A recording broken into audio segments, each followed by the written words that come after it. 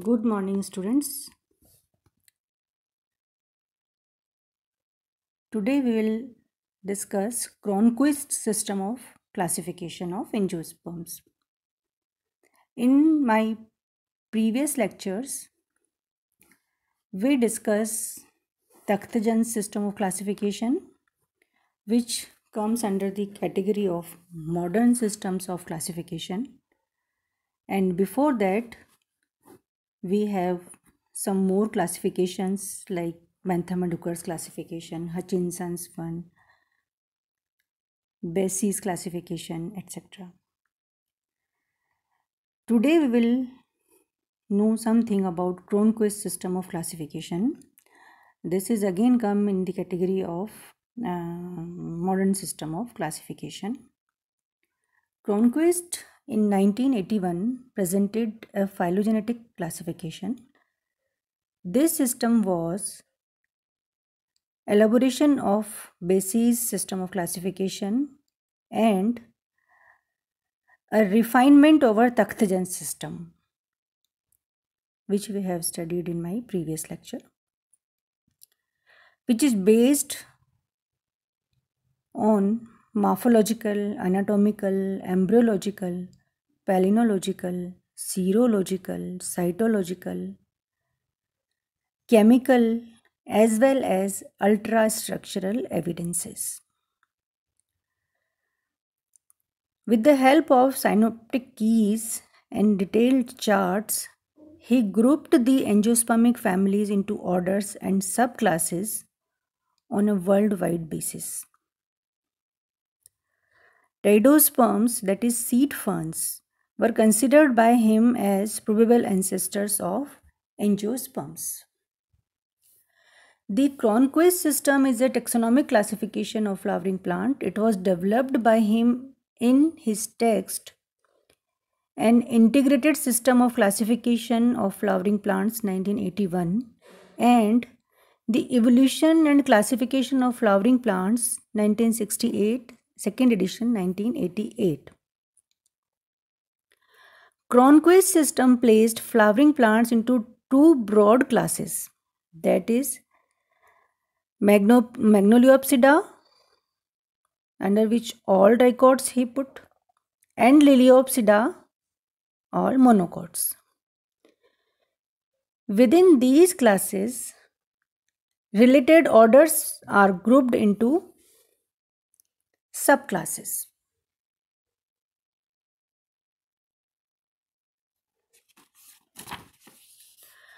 Broad outline of Cronquist classification. Class A, Magnoliopsida, that is dicots, divided into six subclasses. Magnolidae, which includes 8 orders and 39 families. Hamamelidae, 11 orders, 25 families. These are subclasses. Caryophyllae, 3 orders, 14 families. Dilleniidae, 13 orders, 78 families. Rosidae, 18 orders, 118 families. And Asteridae, 11 orders and 50 families. So these are six subclasses under the class Magnoliopsida. Magnolidae were thought to be the basal complex and all the remaining five subclasses were derived from it separately according to Cronquist. Asteridae formed the most advanced group of dicots. Subclass B, Liliopsida, that is all monocots, is divided into five subclasses. Alismatidae, 4 orders, 16 families. Arecidae includes 4 orders, 6 families. Comamelidae, sorry, Commelinidae includes 7 orders, 16 families. Zingiberidae, 2 orders, 9 families. And Liliidae includes 2 orders and 19 families. It is proposed by Cronquist that Liliopsida have arisen from aquatic ancestors. So this is a broad outline of Cronquist system of classification. Now certain merits and demerits of the system. First we take merits. There is general agreement of Cronquist system with that of other contemporary systems like Takhtajan, Dahlgren and Thorney. Detailed information of anatomy, ultrastructure, phytochemistry and chromosomes besides morphology was presented in the revision of the classification in 1981 and 1988. So revision is always better. This system is highly phylogenetic.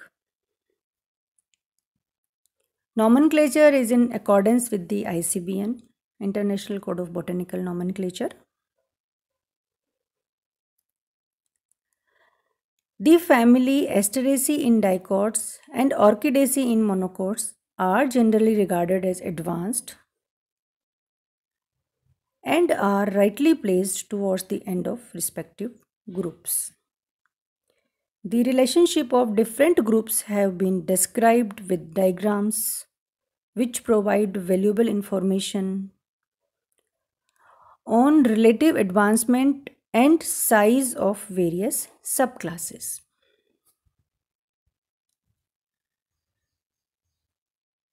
The family Winteraceae that is vesselless wood present similar to pteridosperms. Placed at the beginning of dicots is favored by many authors. The subclass Magnolidae is considered as the most primitive group of dicots. The placement of dicots before monocots find general agreement with modern authors. And last and very common, as the text in English, the system has been readily adopted in different books. Every system has its merits, but it also has demerits. Demerits of Cronquist system of classification. Though highly phylogenetic and popular in USA, this system it is not very useful for identification and adoption in herbaria since indented keys for genera are not provided. Indented keys are always essential for identification of plants.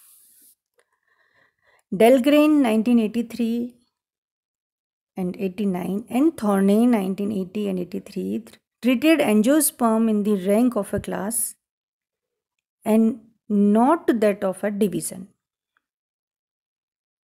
Here in Cronquist angiosperms are treated as a division. The subclass Asteridae represents a loose assemblance, assemblage of several diverse sympetalous families.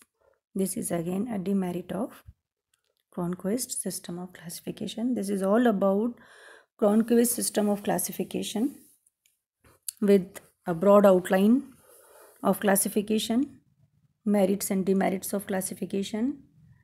We will do assignment based on this lecture this part of lecture so please be prepared for that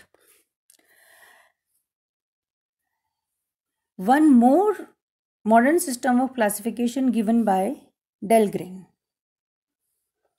Rolf M. T. Dahlgren 1980 1981 1983 professor at the Botanical Museum of the University of Copenhagen, Denmark, proposed a new classification on the basis of the characters drawn from several branches of botany, including anatomy, embryology, and chemistry.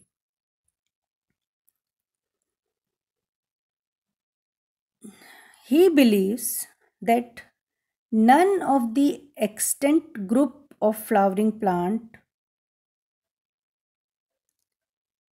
is ancestral to any other present day group. This explained in coming lines. Thus, the Magnoliaceae ranunculaceae assemblage is not ancestral to other flowering plants but has simply retained a large number of primitive features. बहुत सारे classifications में ये कहा गया है कि मैग्नोलियसी and रेनकुलेसी जो है, इनका या ये दोनों या इनका जो असेंबलेज है, वो बहुत सारे जो एडवांस्ड प्लांट्स हैं एडवांस्ड फ्लावरिंग प्लांट्स हैं, उनके ये एंसेस्टर्स रहे हैं। लेकिन according to Dahlgren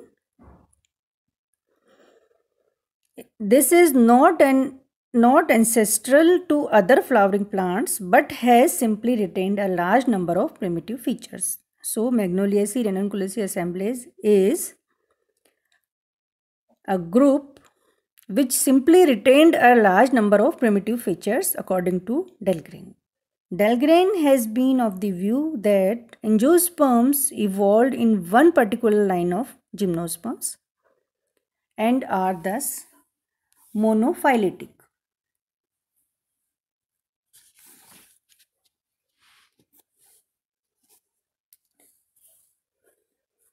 Magnoliflorae considered to be the most primitive dicotyledons while Alismatiflorae have been regarded as most primitive monocots. In Dahlgren's system of classification, Magnolidae dicots have been divided into 25 superorders and 85 orders while monocots that is Liliidae have been divided into 8 super orders and 25 orders.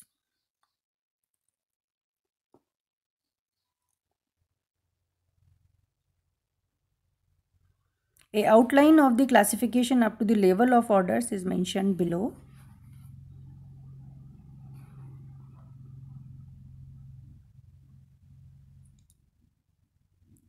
Class Magnoliopsida that is angiospermae.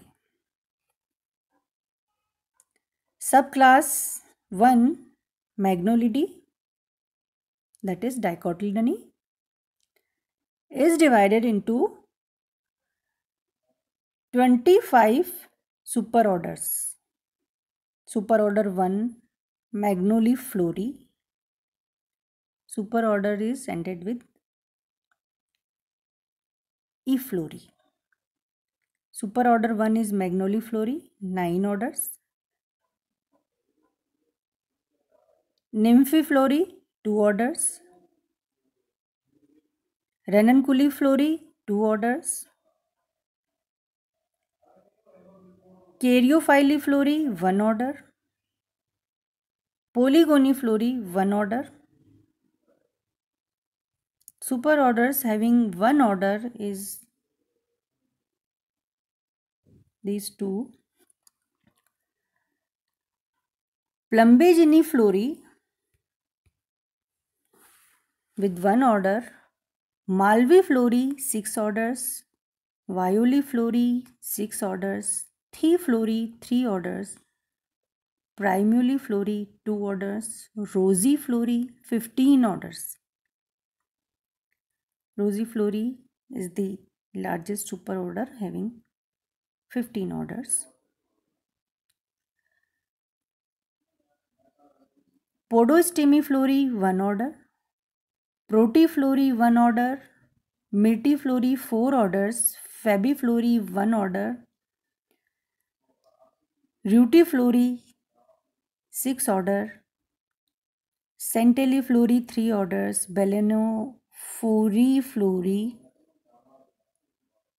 one order, Araliiflorae 2 orders, Asteriflorae 2 orders, Solaniflorae 2 orders, Corniflorae 6 orders, Locelliflory 1 order, Gentianiflorae 3 orders. And Lamiiflorae 4 orders. This is all about super order and order level classification of subclass. Magnolidae come under the class Magnoliopsida. Now subclass 2 Lilidae that is monocots, monocotyledone. Super order Alismatiflory 3 orders, Triuridiflory 1 order, Eriflory 1 order, Liliflory 5 orders, Bromeliflory 6 orders, Zingiberiflory 1 order, Commeliniflorae 5 orders and Araciflory 3 orders. This is outline classification of Dahlgren up to order level, number of orders in each superorder. Important characters considered in this classification are apocarpy, syncarpy and monocarpic condition apocarpy carpels separate syn syncarpy carpels fuse and monocarpy single carpel कोरी पिटली सिम पिटली and mono aperturate pollen grain pollen types sclereids and idioblast presence of sclereids and idioblast Types of microsporogenesis. Types of ovule that is bi and unitegmic ovules. Presence of raphides, silica bodies, presence of various alkaloids and flavonoids, etc. These are the important characters considered while classifying the angiosperms by Dahlgren. This is all about two classifications given by Cronquist and Dahlgren. Hope you will understand and you will be benefited by this lecture.